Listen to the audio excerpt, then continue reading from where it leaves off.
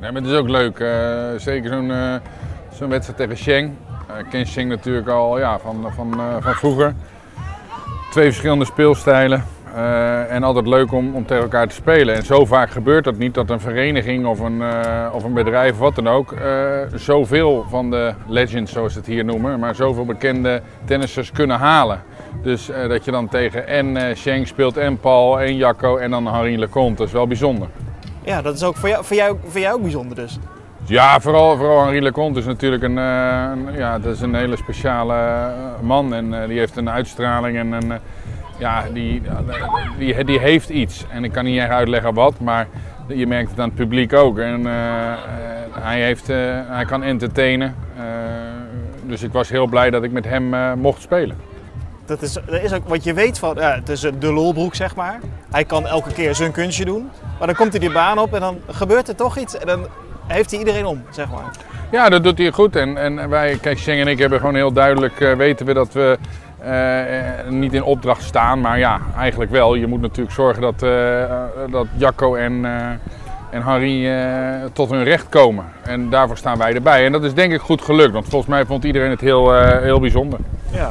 En, dan jij, en dan heb jij zelf ook plezier. Ja, tuurlijk. En eh, je, weet ook je plek op zo'n moment. En eh, zo'n dubbel draait om Harry Leconte. En de singles draaien gewoon om ons. En, maar ook om het entertainment. eh. ik denk niet dat ik hoef uit te leggen dat Schenk Schalke, eh, die traint nog veel. Die is nog topfit. Dus die weet natuurlijk wel dat hij normaal gesproken het toernooi hier wint.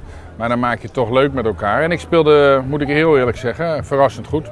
Nou, maar dat is grappig. Net zei Jacco zei net van ja, ja, die dubbels, dat is dan wel plezier en zo. Maar in die enkelspel wil je, wil je toch een beetje nog laten zien wat je in huis hebt, toch wel? Ja, nee, dat heb ik ook wel gedaan.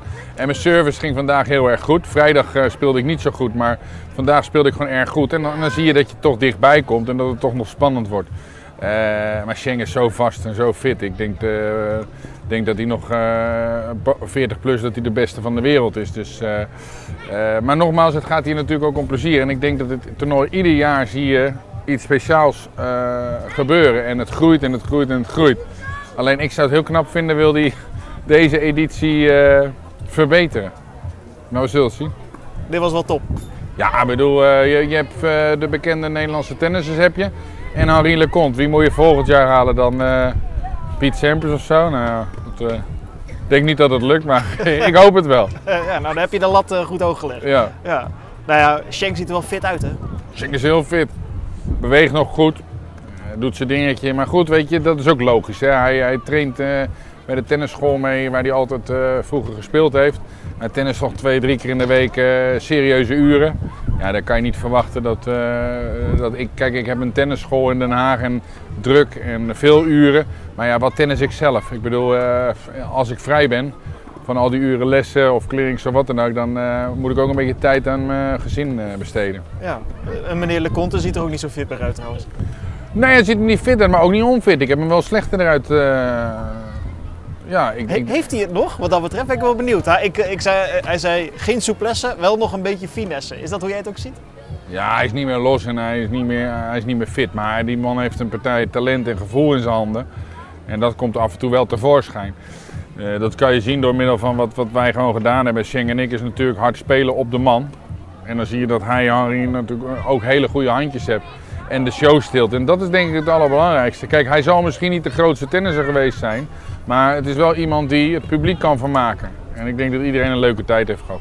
Dat is ook goed voor tennis trouwens. Dat soort mensen missen we nu toch?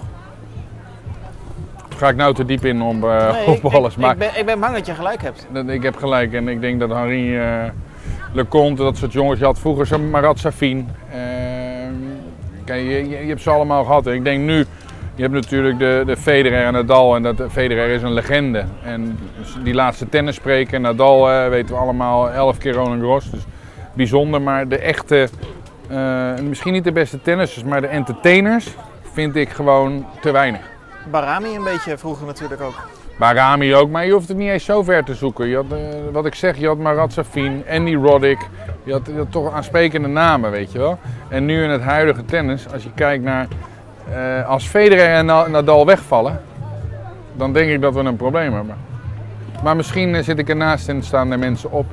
Ik, ik denk dat Maar je we gelijk hebt. Het is, het is dubbel, want volgens mij is het beste tennis aller tijden ooit Wat, wat, wat een voorrecht om nu tennis te mogen kijken. Zo goed zijn ze tegenwoordig. En anderzijds, het is niet dat, zeg maar, dat, dat ze dat hebben, wat jij nu benoemt Nee, eigenlijk. en dat heeft Henri Leconte wel.